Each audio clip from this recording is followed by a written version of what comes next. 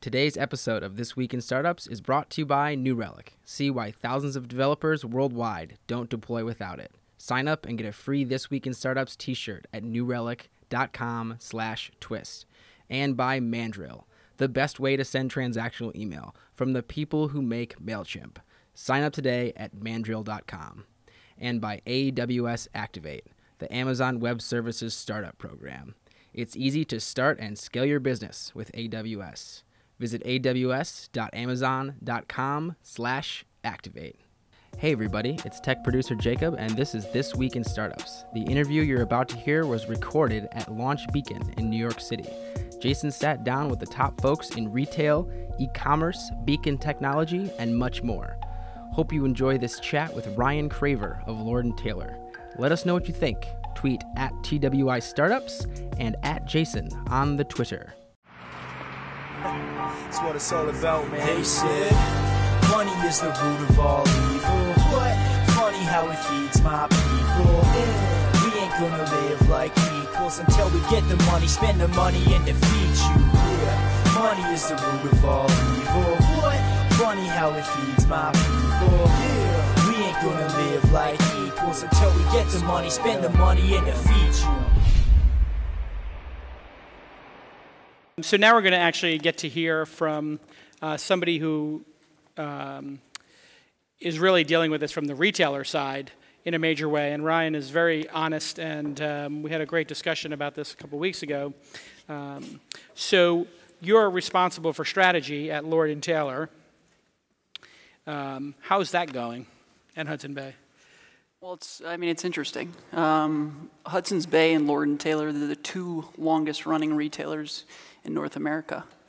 So it's definitely a challenge. Um, retail's pretty slow moving with things like Bitcoin and beacons and things like that. So um, it's definitely a challenge, but you slowly make strides. You show some data that proves that we're making some traction and you start to do things. Great. So let's go to your deck here. You had this really great deck that we went through. and. Do you have the clicker? Uh, um, yeah, do we have the clicker? I think this might be the clicker right here. No? Um, I guess this is. Yeah, it goes forward, but not backwards. Um, that works. Here. So, um, you know, I like to show this as the perceived state of retail. I think that comics do a great job of perceptions of what people think actually happens. Um, and this is incredibly interesting to me just because of the fact that this is that typical showrooming customer. The customer's tried on, you know, 50 pairs of shoes, likely being helped from a commission-based associate and then has the audacity to say, you know, what's your Wi-Fi password so I can go shop somewhere else. Right. So it's um Is this something that is a that really happens often or is it just something we imagine happens often? We imagine it happens. Um, yeah. It doesn't happen very often at all. So if people have come to the store, they, they probably want it right now. For the and the prices part, are now getting closer? Like, is that like a mandate? Like, hey, let's try to have the prices online match the prices in the store, or be relatively close? Yes. So our online prices always match what's in store, and we do a significant amount of research as to what the other online providers are charging. Ah. So that, that parity is pretty much there. Great. So let's go to the next slide. So what I, what I wanted to do was kind of show what we're faced with as retailers today. If you take a look at 2010 to 2013, we've got a drop of about 50% in the top time in which we have our sales. Um, and, and, what we feel is there's a number of reasons for this. Uh, however, what we found is that there's a lot less browsing and there's a lot more purpose shopping. Um, but it's, it's pretty staggering to me. So, literally in four years, four, four or five short years, half the amount of visits to stores, and you're taking a hit during the most uh, important time which is the holiday season. Exactly. And you attribute this to people buying online or just being more purposeful in coming once and ordering more? Com combination of things. Um, you know, buying online from online-only retailers. Um, natural shift in habits. People have more access to more information about what we're selling in stores, what we uh, can do in terms of fulfilling it to them directly, or you know, if we can fulfill it within an hour up to an hour. Um, and then lastly is There's just less browsing. People don't come to malls as a leisure acti- activity nearly as much anymore. And when they are coming, they've done the research prior and they're going to one store instead of three stores. Got it. Um, it does seem like the decline is slowing, though. Yes. So either you're hitting uh, a certain age bracket that's not going to change their behavior, or maybe your or maybe retailers are changing the experience a little bit. Yeah. I think what retailers are starting to find out is that, and you're going to see it in a few more slides, is the customer is not binary. There's not 100% online shopper, and there's not 100% brick shopper. Right. And it's kind of molded where it's a bell curve now where you've got them doing a little bit of each. Um, to your point, it looks like this got a bit distorted with this switch from PowerPoint since I work in an old school retail world and you guys all work in Keynote. um, but what this is showing is that every single age group from 14 all the way through 65 plus uh, has the ability to shop online or is willing to shop online. So this is the percentage um, of digital buying by age. Right. And even the oldest people, uh, 60% of them are buying online. Yep, So it's it's not like anybody is. Um, safe. yeah. Okay. Every, everyone's shopping online. And you got 90% at the. Yeah, 80, 80s and 90% of people are doing it. Okay. Okay, so for us, media is extremely important to understand just because of the fact that that's how we tell our customers what we've got in store, what is on sale, and it drives a majority of our foot traffic as well as acquisition of new customers. Um, and the takeaway here is that the amount of time in total that's spent within these various medias has gone up. However, it's all mobile, as we all know in the room. And, And this is per day. this is per day. So you can see mobile going from 20 minutes a day all the way to two hours and 21 minutes a day. Exactly. 10x. Exactly. Or no. Yeah, like 9x, yeah. So for, for us as retailers, you know, we have to change the way that we're messaging our sales. And it just, it doesn't have to do with, you know, what product we put online, but it's more alerting the customers of what we've actually got. Yeah, and newspapers and magazines are just getting walloped. Yes. Yeah. Yep. Which is not surprising. Wow, this is really depressing. Let's keep going.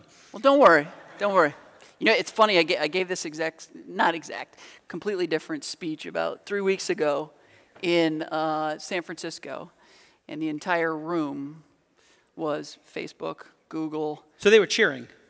they were like, "This is amazing, great, great job." And they said, "You know, you're not a cash cow. You have no money to do anything in retail." And so I was like, "Hey, I'm from retail, guys. You ready? You ready to see some great slides?" But it will, it will turn around. Okay, so we're looking at here U.S. retail versus non-store sales. Right.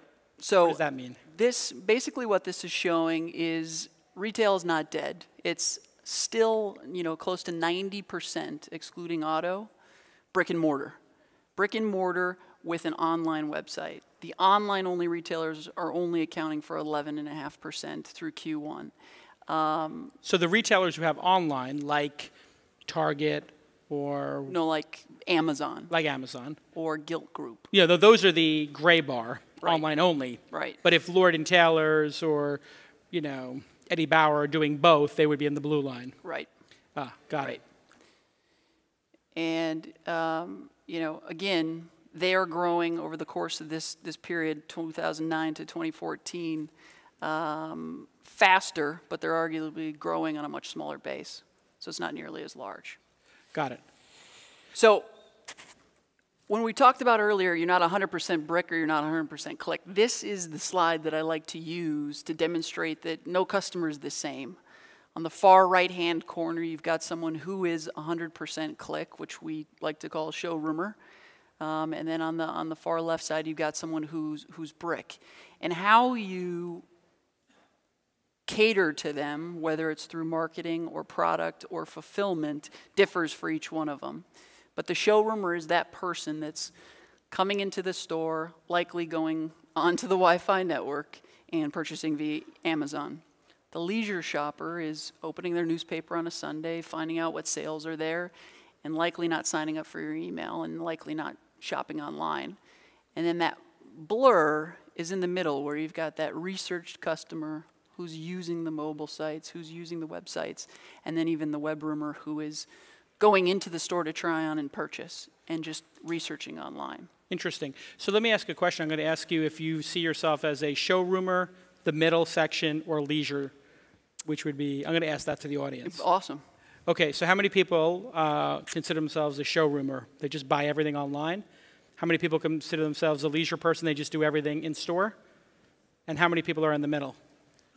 Okay, well, there's the answer. I mean, um, and do you see a trend of like the showroomer becoming a bigger trend where like young people are just going to be showroomers eventually and all the rest of us will be dead? Or is this like a, is that middle section going to become the standard? I, th- I think the middle section is going to become the standard. I think, you know, if you look at every single retailer, they're coming up with similar ways in which they excite the customer. You can purchase it online, you can bring it into store, you can reserve it uh, online and get it in the store. So I think it's naturally evolving all the customers into that middle section. Well, that makes sense because all of the uh, e-retailers or people making products online are talking about building stores. So Fab launched their furniture store.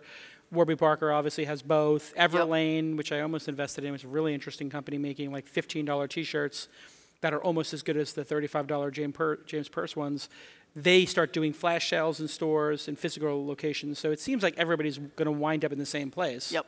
But that last part I thought was super fascinating, which is I order it online, I get it delivered the same day, or I pick it up.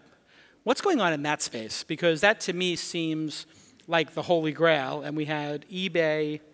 eBay now. eBay now, but supposedly that was a failure or mismanaged and is closing down, I read. And then you have Uber doing Uber Rush here and then you have Amazon doing their own same day delivery. Yep. And then there's a bunch of same day delivery startups in the valley, and then you have Postmates too. Yep. Which you can send or TaskRabbit. Yeah. So is that the future? Like I order something online and I somebody chases me down the street because they know I'm like eight feet in front of them. Like Jason, here's your AAA batteries. Right, right. So I think what we found ourselves is is one, no one's willing to pay a premium on shipping, and everyone expects free shipping. Got it. And free returns. That's the Amazon Prime effect. That's the Amazon Prime effect. You know, you look at all the top retailers, they've got a threshold where they're giving you free shipping, and typically it's pretty easy to meet. Um, the second thing that we've found is that no one's willing to pay a premium, even if they're in trouble and they need that product that day. So they're not willing to pay a premium. They're likely going to go to a store. So for our customers, if we can't give them that same day, what they're going to end up doing is going into a store that's in close proximity to, to them. And if we don't have one there, we're kind so of. So they won't pay the. What would it realistically cost to get people same day delivery? Do you think, fifteen bucks, ten bucks, twenty bucks? What will retailers be able to do it for and not lose their shirt? Uh, it's it's right around 15 20 dollars i think what you're seeing from the larger providers the online only retailers um, is to get around that, they're building the DCs closer to the end customer.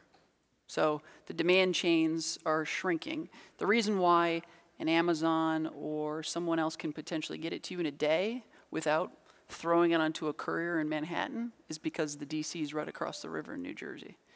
So I think um, they're going to try and avoid charging and we need to ready ourselves as if they're not going to charge, and we do need to provide that service if how we want. How many sale. people here have done same day delivery from one of these services?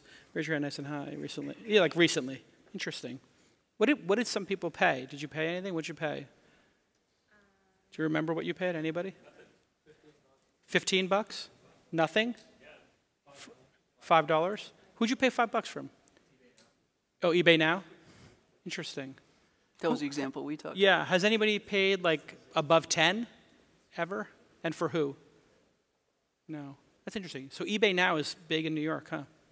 And it's going e- away. eBay now is a fantastic service. Um, you know, but there must be, if they're doing it for $5, they're losing money on every transaction then. So it's like Kozmo all over again. Yeah, I mean, the example I've got from eBay now is I, uh, I think I told you I wanted an Xbox One game. Yeah, total dork, sorry. I wanted it then and now. Um, and I paid, I, I'm on 42nd Street.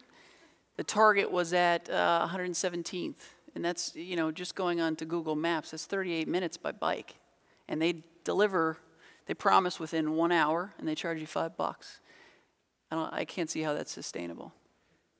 Yeah, I mean, if you increase the volume, you're not going to make it up in volume. You're just going to lose more money. So, um, I think there's some use cases where it will work. You know, What is parts, the use case where it will work? Use case where it will work. parts of Manhattan, and if you restrict the size, I mean, eh, obviously guys like Seamless and Grubhub have made it work on bikes with food, which has uh, much better margins than retail. So there's going to be some use cases where. Yeah, I, I mean, I used Postmates when I was in San Francisco, and I realized after I used it that I it was fifty-five dollars, but I didn't actually read like what I had spent, and it was really thirty-five dollars in food and like nineteen dollars in Right. a service charge, a delivery charge, and a tip. Right. Um, and I was like, I don't think that this is going to be super sustainable. Ah, yes, New Relic, New Relic. Application performance on a very granular and detailed level. I use it at Inside. I use it at launch for the ticker. I get weekly updates on email of how my services are doing. Now, listen, I'm the CEO, I'm the boss man. I don't need to get down into the nitty gritty of our application level, but I like to get that top level summary so then I know what the heck's going on. I know that our services are fast, I know they're stable, and my team loves it, as do the teams at Nike, Warby Parker, Airbnb, Comcast, AT&T. I could sit here for an hour and tell you impressive names like that that use New Relic. New Relic has an amazing new product called New Relic Insights. Uh, and you can ask your software questions like how many people signed up for a free trial today? What is our revenue by geography? How many unique visitors completed checkouts? All this kind of stuff. Insights is amazing. It's sort of putting together growth and data with how your servers and how your infrastructure are working. Great new product from them. Go check it out, newrelic.com slash insights. And go to newrelic.com slash twist and get a free This Week in Startups t-shirt. They printed This Week in Startups t-shirts. That should tell you all you need to know. They know what they're doing over there. They know how to communicate with this very valuable audience, the This Week in Startups audience. It's super fast, it's super easy, and no credit card is required. And it's affordable. I'm telling you, it's super affordable. You have to be using it if you're doing anything in the application, internet, infrastructure space. If you're serving stuff to people. You want to make sure that they're getting the information. You want to make sure that your application is fast and tight. You need tools like New Relic, and New Relic is the best tool out there for application performance. Thank you to my friends at New Relic, and go ahead and thank at New Relic on Twitter. Okay, let's get back to the program. There are some people doing. Uh, uh, with delivery, like uh, the direct food that's already in the truck, and, and some of that kind of stuff. You know, like closer. You think those are going to work? I, th- I think they're going to do better. I think they've, uh, you know, the Peapods of the world have refined and refined and refined, and they've slowly rolled out what they're trying to do. And I think they're making wiser decisions. I think that's what you saw with eBay now, kind of saying they're slowing their roll. They got to refine and, and figure out what actually works. What about Walmart doing the delivery where I can bring my is it Walmart who did that where I can bring my neighbor Crowd, crowdsourced delivery. yeah, Yeah. eh, like hey you want five bucks off your groceries drop my neighbor's groceries off I, uh, it's another one I think is very interesting. I think um, it's kind of T- TBD is it's going to be interesting. I find that super creepy too like some third party is now going to bring my groceries home have people heard about this before it's pretty crazy um, delivery. right let's do the next slide here yep. So um, the way we think about uh, exciting the customer, and I, I wanted to make this relevant to the audience here. It, it's not like the last audience. Um, we think about it in three different ways, and it's social networks, location, and in-store experience. So I, I kind of created a few slides to Yep. talk about how we've thought about it and, and what we're working on. Um, Social is pretty remarkable. I mean, we all know that it's a big deal. We all know that it's mobile. However, if you look on the left hand side, uh, as of December, which was the first month, uh, according to this firm that published this, it's the first time that the amount of time we're spending per day has exceeded email um, ever. So, social networks have social networks. Um, and for retailers, you know, if you think about mobile and how we've monetized it historically, we've done a very poor job.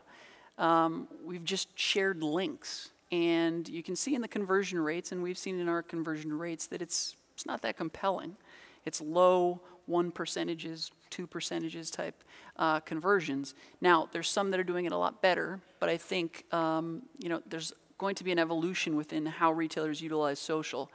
Um, you know, Soldsie is one that is using keyword-based purchasing and comments on Facebook. I think that's interesting, but I think until we get to a point where, uh, you know, Facebook, Twitter have your payment information and you've got one-click access to a purchase with shipping information built in and single sign-on, we're not going to see that compelling of an experience or that high of conversion rate with social. Well, you have Twitter cards now. Yeah. which are specifically designed interactive objects on Twitter. So you can one click subscribe to an email newsletter or get a coupon, I guess. Yep. And there's some other things that you can do with them.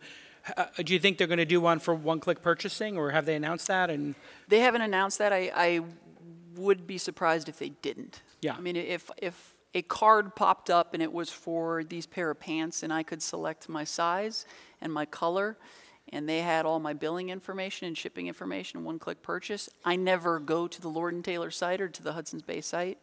I mean, that's incredibly compelling. And uh, you know, Twitter. I don't know if we just gave you the answer, but that's uh, that's something they should do.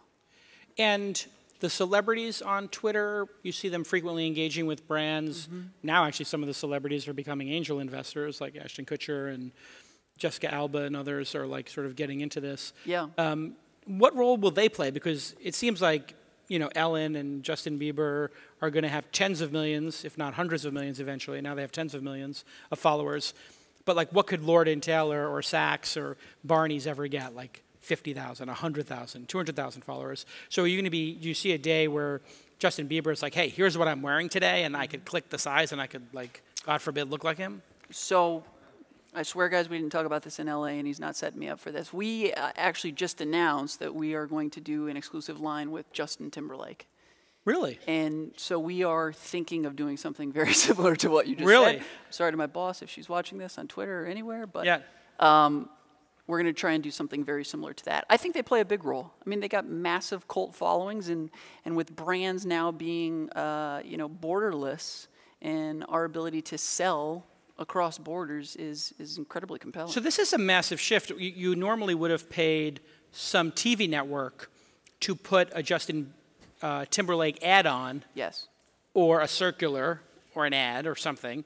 And now you can go directly to Justin Bieber and say, "You have," or Justin Timberlake, "You already have tens of millions of people. We'll just give you the money, and we'll also give Twitter probably a little bit to, you know, juice it up a little bit with some, you know, ads." Is that that's the plan? That's essentially the plan. I mean, he, he's going to play a very um, influential role in the design of the merchandise. I mean, this is the brand that he wanted to create that he could wear with his friends when he went to brunch on Sunday. Um, so he's going to be a major portion of what we, we try and sell, and uh, his best friend, Trace Ayala. And they're also owning these brands now too. So Yeah. they're just who are they disintermediating? The radio, the net, the newspapers, the magazines, the fashion magazines are just totally disintermediated. I, uh, our entire campaign for that um, that brand will be all digital. It will be all Instagram, Facebook, social media, uh, digitally um, for the entire run of the program, and we're going to try and do some cool things. Awesome. Let's do the next slide. And by the way, out of all those social networks, which one do you think is the most relevant to retailers? Sheer volume of shares, it's Facebook. Uh, conversion, it's Instagram. Ah, so Facebook has the masses, but Instagram has like the actual buyers, like the most passionate. Yeah, I mean, the one that we didn't really talk about is Pinterest up there. Um, Pinterest, if you're looking for a very niche customer, female specifically, I, I can't remember the stat, I think it's close to 90%. Yeah, it's But if you're looking for a broader um, coverage, inclusive of male and all ages, and they're going to have promoted pins now. Right. So is that going to be something you're going to experiment with in a major way? Is that something that like you've been waiting for? Like, Yeah. Why haven't they gone fast enough? Yeah, no, it's, it's something we have to experiment with. So, you know, as you can see, there were six different social media sites that were up there. Um, they just continue to grow and grow and grow, and we need to be flexible to to try each one of them, and the ones that make more sense than others, focus our funds after we've done a quick test on them. So now your skill set has to start including social media, but also content creation. Mm. Who, who's going to do all this content creation? Like the retailer who sets up, you know, a store. Generally, like, they, do they even understand how social media works, or what's a great vine versus a good vine versus a kind of a bummer of a vine? It's Fantastic question that we struggle with every day. So, each one of those social media channels has a different use case. If you look at Twitter, it started with link share, and then it kind of shifted, probably due to the airline industry and everyone complaining about their flights, Yeah. to a customer service. It model. is. It's the customer service channel. So we still share the links, but it's more customer service. to your point on Vine, Snapchat, it's not nearly as curated, professional looking campaigns. I don't know if you follow anyone on Snapchat, but a lot of it is things like if we sold this mug, it's a quick snapshot with it saying, your father need this, needs this mug for Father's Day. Yeah. So um, I think there's a portion that needs to be very, very professional, curated, like a Facebook. And then there's some other that kind of needs to be a bit of a guerrilla marketing. Yeah, I mean, Vine is just all comedy. Yeah. Right? So you're going to need to hire six second comedians. All right, let's keep going. Location? So location is incredibly interesting to me. Um, these are three screens of an iPhone um, in which we're kind of showing one of our apps, SnipSnap, um, that's got coupons from all retailers across the country. And the general takeaway is, is that we use it in three different ways. Banner ads, first and foremost, category search, so it's retailers that are set up by the type of product that they sell, and then location pushes. And, you know, no surprise to anyone in the audience, but you're now hearing it from a retailer, the most compelling one is location. And uh, we see the highest conversion rates with location push. And the, the thing that we're trying to do next is let's just not do it on proximity and let's do it on have they snipped a Lord and Taylor coupon before? Um, have they actually purchased with the mobile coupon code that was there? So our ability to become more and more compelling uh, in an effortless way is, is definitely something that we're focused on. Ah, yes, Mandrill, transactional email from our friends at MailChimp. As you know, I love MailChimp because I send emails like crazy. But that's when it's me sending emails or my team. What about when your server, your service has to send emails? What servers and services do you sell with your service? The emails are obvious. Things like password reset. You, you got a friend request. Uh, you uh, somebody posted a new photo. Uh, did you log in from this IP address? Somebody shared a document with you. All those things that your system is sending out every couple of seconds, or hopefully if your system's doing well, multiple per second. You need to make sure that those transactional emails get into people's email boxes. Because if they don't, your service is DOA. How many times have you had uh, a password reset wind up in your spam folder? How many times have you had a friend request or a message or a follow up message get put in your spam folder? That is heartbreaking. Imagine you had that chance to re engage a customer that you paid multiple dollars for, tens of dollars for, and they can't get back to your product or service when you have the chance to email them. Oh my God, it's a disaster. Well, you can solve that disaster with Mandrill. That's right. And they have real time analytics so you can monitor the performance of your transactional email from your iOS or Android device even when you're out at the movies or having dinner or whatever you're doing, it's incredible. And the pricing is ridiculous, like all MailChimp uh, products, they're just ridiculously generous. The first 12,000, not 1,200, 12,000 emails a month are always free. And after that, you pay a modest usage fee. And there is no feature gating. So even if you just use it for a dollar a month or $10 a month, or even if it's the free package because you're only doing under 12,000 emails because you're a startup, you still get every feature. They're not going to screw you up by taking out key features to try to get you to upgrade. They're just going to give you everything. And then when you're making enough money because you have enough emails going through the system, then they'll ask you, hey, put a credit card in and pay a little bit and help. Anyway, mail, everybody follow Mandrill app on Twitter. It's an amazing service. We use it here. It's flawless. You're going to get through those spam filters, which is critical, uh, and people are going to love your product. Thanks again to our friends at Mandrill. Let's get back to this very important episode. And so you pay SnipSnap. Snip Snap? Yes. Yeah. And there's a couple of other couponing apps. I guess lot. RetailMeNot is the other one. RetailMeNot, coupons.com, Shopular. Shopular. Um, and these all seem to work in the same way. You are at the mall, it tells you what the shop, shops are at the mall, you click on them, and it gives you an offer. Right. But it, when we looked at them, a lot of them seem to be just ugly copies of the circulars. Do, but these actually work? So these, what we do is we provide Snip, Snap, and Shopular a week ahead of the promotion what will be on the promotion so that they're aware of exclusions, they're aware of the creative, creative. If you see that friends and family, that was what we used for our latest friends and family that ended yesterday. Um, so And that's supposed to be friends and family of the people who work at Lord and Taylor, but it's like, hey, we're going to let you in on this because you have this app. yes, yes, that's right. So diluting that a little bit, but through a specific channel, maybe. Yep, yep. Has Um, anybody used one of these coupon, couponing apps ever? Has anybody?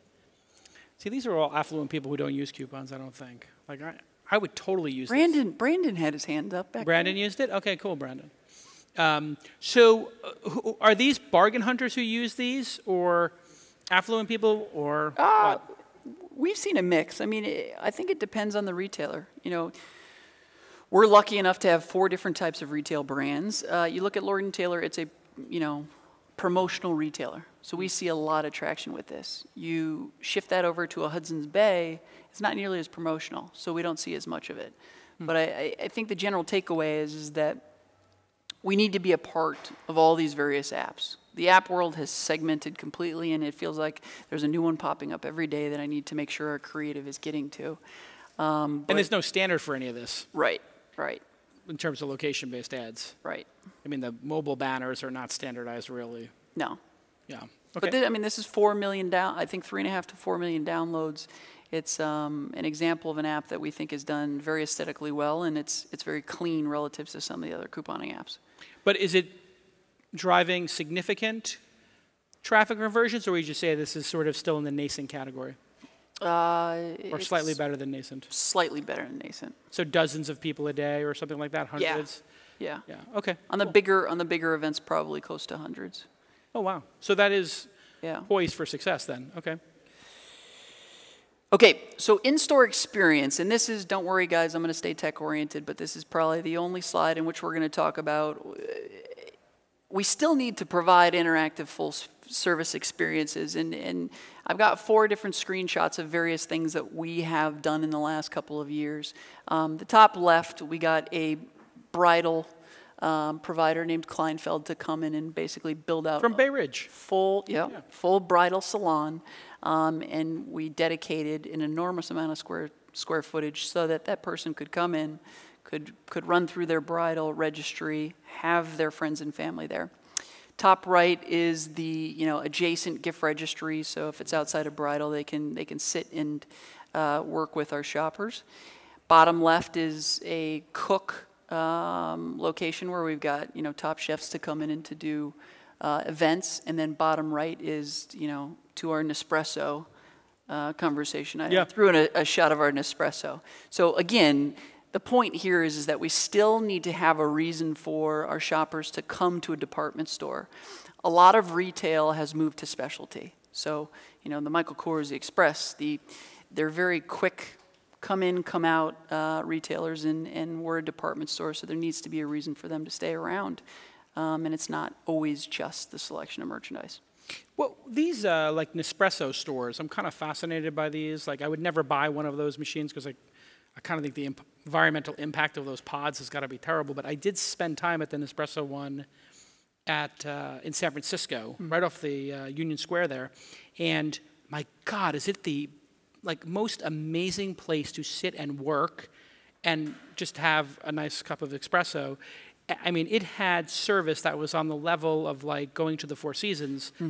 Um, do those places actually make money, or do they lose money? Uh, Do you think? I can't comment specifically on Nespresso. For the most part, they do uh, a halo effect that makes money for the store. Ah, so they may lose a little bit, may break even, but they get people to hang out. Cost of entry. Gotcha. Okay, great. Okay, so let's let's talk about um, smartphones. I think the takeaway from this slide is, you know, everyone's got smartphones, and guess what? Everyone's using them to shop in some way, shape, or form. But the use cases today, you know, for lack of a better term, they're they're they're quite lame, and I think it's going to evolve considerably. I mean, a lot of it is price compare, and we all see that. A lot of it is figuring out where locations are and what hours are, and promo offers. And I think it's early days. And I think the one point I want to make about the use of smartphones in stores is customers we're finding are more interested in self sufficiency. So instead of working with a customer service agent or working with a sales associate, a lot of them would rather do it themselves on their phone if they're provided the ability to do so. Okay, so you accept that? That's just the future. That's, that's what we're seeing. Granted, um, it's, it's certain populations. Right. However, a lot of them are definitely moving that way. And, you know, I think a lot of people two years ago would have said that, you know, their grandmothers would have never shopped online, but, you know, we've got a lot of that now. Yeah. So my it- mom's a grandma now, and she's shopping online. So seamless omni-channel transactions. What does that mean? So today, I think um, we don't do a great job, retailers in general, of allowing the customer to come into the store and then letting the customer know that instead of taking this home, they can get it sent to another store or sent to their home very seamlessly and quickly. Today, they need to go into the store, they need to go to a customer service rep and say, hey, do you have this, uh, you know, your shirt that you can send in a medium to my home in Bayshore? And that's, it's just a, it's a poor transaction. If they are interacting with a beacon or if they're able to pull it up online really quickly, do single checkout, I think it's, it'd be a lot more seamless and better experience for them. So how do you envision that happening? How are you pursuing that? Like, do I take out your Lord and Taylor app and scan the QR code, and then it's ask me for the quantity, and then I just say ship? Yes, so that, that's one possible way that we could do it. Um, another possible way that we're working on in Beacons in, in a couple slides we'll see is, is the ability to scan all the products that are within that particular location and click one-click checkout using the, uh, the information you got there. Great. Let's go to the next one. So what we're doing here is uh, just showing a quick preview of the beacon ecosystem deployment. So this is what we found. We deployed beacons. People, when they knew how to use them, our customers, when they knew how to use them, it was an incredibly compelling experience. We saw a lot of engagement. Um, but for the most part, you know, it, it's not self-sufficient and it takes a lot of effort. And what I mean by that is, is a lot of our customers that are coming into stores, one, have never been into our department store, or are tourists, aren't familiar with the brand, don't have our app. And so what we found was, is taking the SDK that we utilize with Swirl and talking to our bigger app providers and saying, you integrate it for us, and then it's a more effortless experience for those that are using those apps. So we've got a number of apps that we're going to have the SDK loaded into and across 15 locations in the US and Canada with at least eight experiences per store, limited to two because we don't want to inundate. Um, we're going to have apps ranging uh, you know, from 3 million downloads up to 70 million downloads acquiring new Lord and Taylor and Hudson's Bay customers. So I happen to download Dots or Two Dots or right. whatever. That's not one. Whatever game or something like that, and then I get to get alerts based on having that game, or is this like a Foursquare thing, or what? Uh, yeah. So uh, let's say you're listening to a music app as you're walking by a store. Got it. You will get a swirl screen to pop up. That first one that's got Rihanna um, and it will say, hey, have you realized there's a 25% sale going at Lord & Taylor? Ah, so if I had something, say like a Pandora or something I was listening to, instead of getting a normal Pandora ad, I might get a Lord & Taylor Pandora ad because I was near a Lord & Taylor. Exactly. So I don't need the Lord & Taylor app. So that would be incredible. Exactly. I mean, now you're going to go how many fold? Yep. In terms of usage, it might be thousands of times more people using Pandora on a regular basis or some other streaming music service, Spotify or whatever. Exactly. It becomes an acquisition tool as, a, as opposed to a retention tool, which when we force them to download our app. Yeah. That's fascinating. Okay. And so, how have the app developers responded to that? Are they stoked to have a new revenue stream, or do they feel like they might lose customers because of it? I mean, in the case of Pandora, it would just be a different type of ad. Right. Um, you know, Sonic Notify could probably answer this question as well. I think everyone's talking about beacons, but no one's really doing anything. Yeah. It's kind of lame. That's kind of why we're here, yeah. So, it, it, like, let's get this show on the road, yeah. is, is kind of what I've told them. And I, I've just said, look, we are going to launch this. We are going to be a major department store in two different countries with four different banners that are going to do this. And we're going to figure out whether we think it's compelling or not. And are you coming along for the ride or not? And they've resoundingly said yes. So I think it's going to be phenomenal. I'm excited. I mean, if I wonder, let me just ask this question: If somebody, let's pretend Mac is your, you know, one of your five favorite brands, would you, would anybody here? I'll ask if you think it's cool or you would be offended, and if neither, you can not raise your hand. But if you got while listening to Pandora or Spotify a 20% off discount um, to your favorite brand, whatever it happens to be, how many people here would be stoked or think that was cool when they're listening to Pandora? Okay, I'm part of that group. How many people would be annoyed and be offended that Pandora was sending them an offer? Did you say yes to the push notifications when you downloaded the app? I guess that's a question because if this is going to be the learning, is like I don't think consumers are expecting this. So if they said yes to push notifications, did that mean push notifications that are marketing messages or not? And then because it's a discount and because it's relevant because it's so close, I kind of feel like it's forgivable if it's. I mean, if it was annoying and it wasn't a good discount, Right. yeah.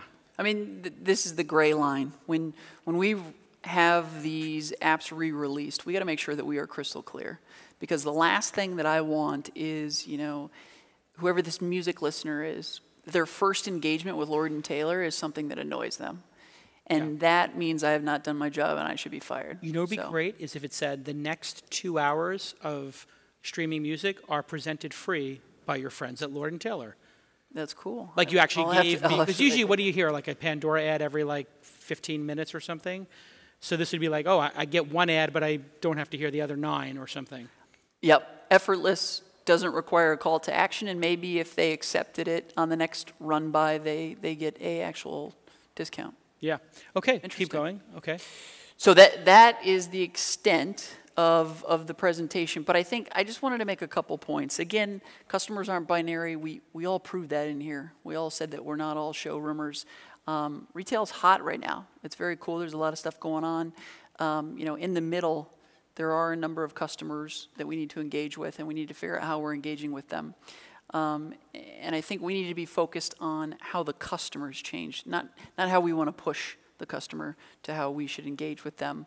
Um, but it's, it's an exciting time, and I think the more that we can make the tech that we're using to engage the customer passive and effortless, the greater um, likelihood we're going to have better conversion, and we're going to see uh, you know more excited customers. Awesome. So do we have any uh, Twitter questions, uh, or do we want to just run a uh, microphone? Who has a question? We have uh, one here and then one here. We'll do that in that order. And while he's running the microphone, okay, we got the microphone very quick. Thanks. Hey, thanks, uh, thanks for coming out and talking to us today. Thank I'm you. Wondering how you guys are using mobile and anything you're thinking about with beacons to increase more like personalization and customization in the in-store experience versus just sort of pushing ads. Yeah, great, great question. I mean, so it kind of goes back to that location comment that I had before. The more pers- personalized we can make it, uh, the higher likelihood of conversion and the higher likelihood of delighting the customer. Um, there's nothing worse than me receiving an email from uh, a retailer that's talking about handbags. I don't ever shop for handbags. Why am I getting a email about handbags? So the more and more we can personalize it, the better, to your point. What we're doing is, is we're looking for ways to take the purchase history of that customer, build it into the rationale as to what we're actually going to push their way. Um, the tough thing that we've got or the challenge we've got is, is so much of sales today are, are, are done through affiliates and done through other parties. And, um, you know, I was just talking to MCX at, at lunch. It's done with information that we don't necessarily have access to. So the closer we can get access to that information, the easier it can be to personalize, and then in turn the conversion rates goes go up. You know, what'd be cool too is when you show that Mac ad, which obviously, like, um, most men are not going to be super interested in unless they're buying a gift or Right. something or any a number of reasons. But um, having a little like thin one third bar that was like, hey, how about Axe spray or, or something else, Right, right? right. So some other thing that might appeal to the opposite of whatever the ad is, and then you could track which did that user ID click on Yep. and start putting them into either or buckets. Yep. You know, like which, which would you find more appealing, this or this coupon? Pick one. Uh, okay, another question? Hi, I have a question about um, uh, the future of retail as uh, purely showrooms. I was wondering, you know, um, just uh, how long in the future do you think that's gonna come about, and as well as i- if you know if, if uh, anyone's doing that on a larger scale currently with the automated right mobile checkout. Jason and I have actually spoken about this at length. I think it's what's interesting to us is that um, there's a lot of retail space out there, and as the retail sales shift to online, something's got to happen with that retail space. Either doors need to shrink, doors need to become more fulfillment centers, or they need to close down. I'm not here to tell you whether I think it's it's one or the other or when it's going to happen, but I think you know naturally every single retailer is behind closed doors trying to figure out what is the mix, I mean, how much of your space should you no longer sell in and how much should you fulfill in? And, you know, should you potentially look at opening much smaller doors? And it's definitely something we have to think about quite a bit because we have Goliaths. We have, you know, 11 story stores where we're selling every single product under the sun. Oh, so do you see a time when the top two or three floors or whatever are, you know, storage so that you could have more, uh, or just the delivery going from there, like the UPS would go from that location, you're saying? Yeah, I think I think there's actually been some retailers, some that are actually even in the audience, that have publicly said they're devoting more space to fulfillment. Um, what we've had to do is, now that we're using all our doors basically as bless you as pseudo DCs, we are now shifting some of the labor to fulfillment. So they're packing boxes as opposed to customer facing, and we're Ah. shifting some of the sales space to fulfillment. Makes total sense. Uh, I'll take a final question. Yeah. Um, yeah, just to go back to that example that you were giving of the Mac ad coming through in Pandora, um, how do you ensure that sort of the advertisements that you're, or the promotions that you're giving to third party apps are relevant to the people receiving them? And does that put the onus on the third party apps to be providing the information to target those ads? Yeah, Yeah. so, so great question. And one, I just want to make sure that the app example was Pandora, but it's not Pandora. yeah. Uh, and Mac will probably be one of the providers. Um, again, take SnipSnap for example, because SnipSnap is one that's going to be integrating the Swirl SDK. They've got information behind the scenes that says this shopper has clipped coupons previously from Lord and Taylor. They've also got information behind the scenes that says they've clipped apparel-based retailers, some that may even be our competition. That's, you know, the first level of relevan- relevancy. And then they've even got the information that says that, that customer has taken that clipped coupon and then converted in store because we give them a specific mobile coupon code. So we can get to those three layers. Um, what I can't get to today, but I need to get to, and we will eventually get there, is what they've specifically bought in the store. Right? So I can say, I know that this customer has gone to a Lord and Taylor or a Hudson's Bay. I know that they've converted. Let's send them a normal coupon. But I can't say, I know this person bought that shirt. Let's send them, you know, a coupon for that specific shirt or that specific brand. Got it. Okay, final question.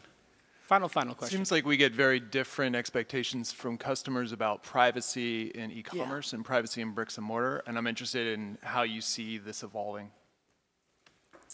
Um, I mean, what's the perspective you guys here? Well, I'm coming from the tech side, so we're guessing at what you think you want us to build for you. Yeah. so, which is why I'm up here on stage, huh? So, um, I hate to stereotype, but age-wise, you know, the younger, the millennials, uh, definitely aren't nearly as concerned with privacy as beyond millennials. Um, essentially, what we found where you accept push notifications in app, let's just talk in app, uh, you're willing to be sent push notifications quite easily. You don't have any worry about privacy. Where we do have problems is where we start tracking based on Wi-Fi. You know, if, if, if they jump onto our Wi-Fi, they're very upset privacy-wise, even if they've signed up and said yes. So we've, we've kept Wi-Fi, but we've, we've stopped tracking, and we did that very quickly, quick response. Um, so I, I think a lot of it's down to age, unfortunately, but I think it's slowly but, slowly but surely turning a bit. I don't know if that answered your question. It's a tough question. It's a gray line, like I said before, and, and last thing we want to do is not delight the customer. We want to um, make sure that they are not experience the brand in a way in which feels invasive. Let's hear it for Ryan. Uh, well done. Thank you, awesome.